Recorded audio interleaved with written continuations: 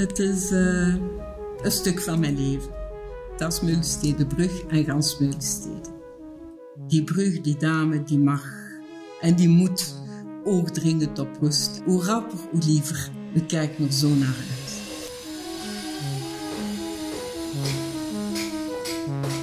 Maar ondertussen de last en de vertraging en de opstopping en de werken, hoe dat, dat gaat verlopen, zal toch nog een heel, heel zware brok zijn om door te slikken. We gaan het moeten doorbijten en het gaat beter zijn.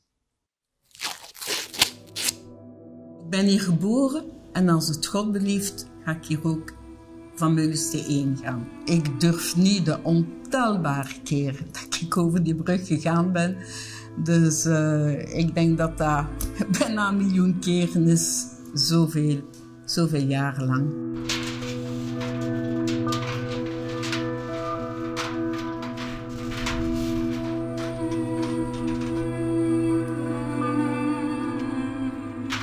Ik heb hier ook mijn kleuterjaren, mijn jeugdjaren, mijn getrouwde jaren, mijn werk. Onze firma's waren gevestigd op de Wiedaukai. Dus boekdelen, boekdelen vol. Alles heeft zich hier voor mij afgespeeld. En uh, in 1986 is mijn man, 41 jaar, Wim Simons, is uh, van een hartaterbreuk plotseling overleden.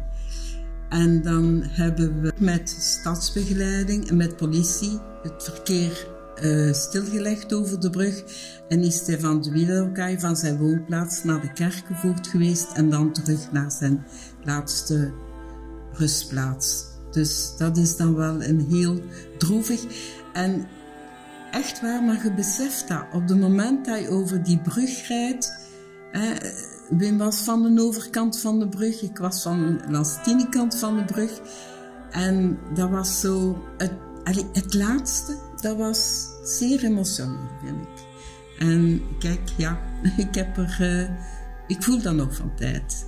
Maar ik heb ook veel mooie herinneringen. Er waren ook heel veel mooie herinneringen aan. Gaan vrijen over de brug. dat was er alleen van. En uh, mijn werk. Ik heb uh, 47 jaar lang aan het hoofd als bedrijfsleider gestaan.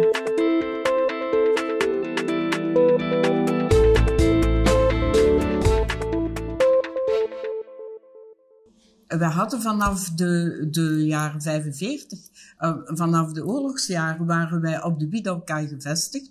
Eerst met het kolenbedrijf van Drische, daarna met het vervoer en daarna met de kranen. Op kraangebied waren wij Europees een van de grotere, grotere firma's dus om werken uit te voeren. En alles, al ons verkeer en alles, dat kwam ook de werkmens, dat kwam allemaal vanuit de buurt.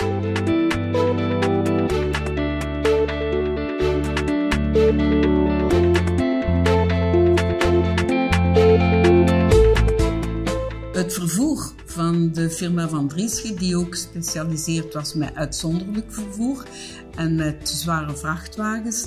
Die werden beladen met de nodige blokken en de draagkracht om de brug te testen, om als eerste over de brug te komen en dan te zien dat ze pas toegankelijk was voor het zwaar verkeer, voor het verkeer uh, die in de toekomst over deze brug zou komen.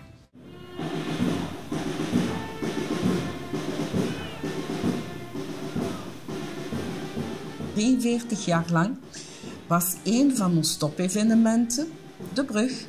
Het is te zeggen, met de fanfare, het stadsbestuur, de mensen van Beuzelsteed, de mensen die er woonden, de kinderen, allemaal stoetsgewijze gingen we eerst naar de Heilige Mes, of niet, en daarna naar uh, het monument van de gesneuvelen, die aan de Carpentierschool is. En dan kwam Hans die stut te voet over de brug en over het middendek terug naar die om de verbonden tijd en eigenlijk die link te leggen met de wijken aan de kant van de kerk en de wijken, want deze wijk is ook nog Meulensteen, tot aan Wondegem station.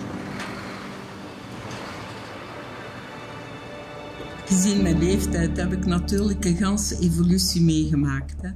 Dus uh, van de, de voetgangers, hè, want er woonden hier niet veel mensen met auto's langs de Wiedaukai. Nog aan de overkant, nog aan de kerk. De mensen gingen te voet, ze moesten naar het havengebied gaan of uh, ze moesten de trein nemen naar Wondegem. Dus die brug, dat was met fietsen, fietsers en eigenlijk voetgangers de hoofdzaak. Daarna ook de vrachtwagens, de lichtere vrachtwagens en van alles meer zwaardere vrachtwagens. Ja, als de brug helemaal klaar zal zijn en er is, is het een beetje een tweeledig gevoel. Eerst de positieve kant een nieuwe verbinding, open verbinding, beter verbinding, fietsersbrug daarbij, voetgangersbrug. Dus beter, beter zou het niet kunnen, alhoewel dat we ook liever een tunnel hadden gehad. Maar dat daarbij genomen, het is nu een brug en uh, dat gaat enorm verbeteren. Tuurlijk, als de in- en uitvalswegen daartoe aangepast zijn als dat verkeer die van de brug komt of naar de brug komt, niet meer dwars door de wijken van Meulensteen zullen gaan. Maar daar zijn er toch de nodige plannen voor.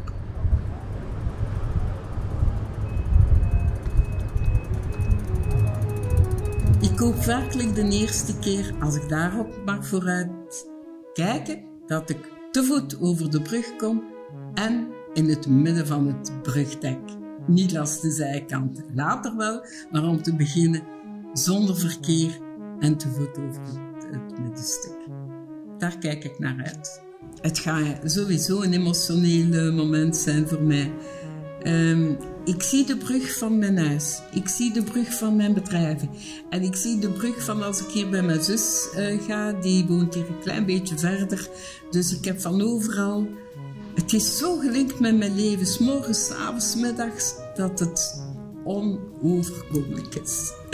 Het is uh, een stuk van mijn leven.